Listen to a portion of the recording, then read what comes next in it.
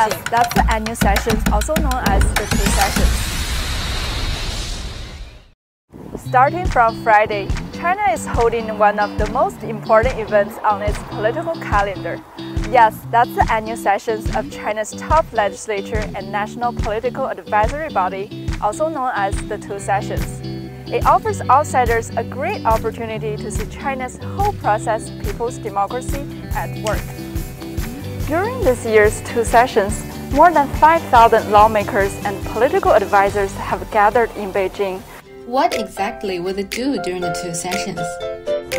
They participate in the deliberation and administration of state affairs to find solutions to problems.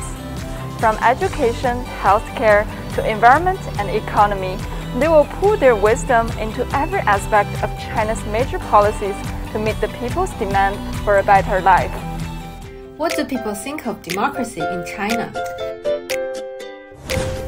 Here's what foreign experts say. Democracy originally right, meant rule of the people and by the people. Actually, the, the two sessions are an example of this. This is multi-tiered, right? No single person can just influence the, the, the control the whole process.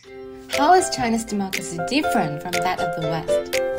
The socialist democracy with Chinese characteristics runs through all processes, including election, consultation, decision making, management, and supervision. That's why it's called the whole process people's democracy. It goes far beyond the options of campaigning and voting, which are seen as the defining characteristics of democracy in the West. La democracia tiene que ser útil a ir a resolver los intereses de la mayoría de la población.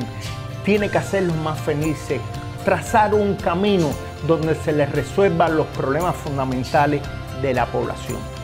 China ha demostrado con su sistema democrático que está cumpliendo con ese requisito.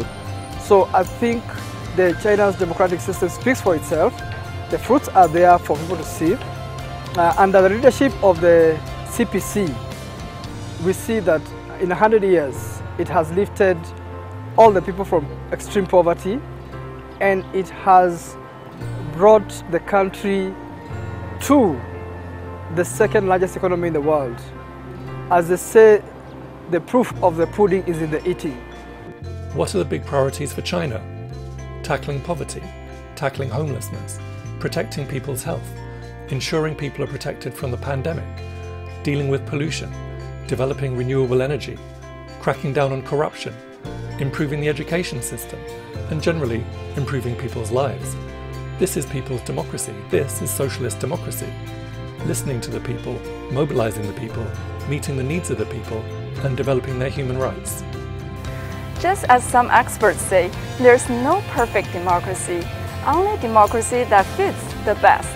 The China's model of democracy has proven to be workable and effective in the country.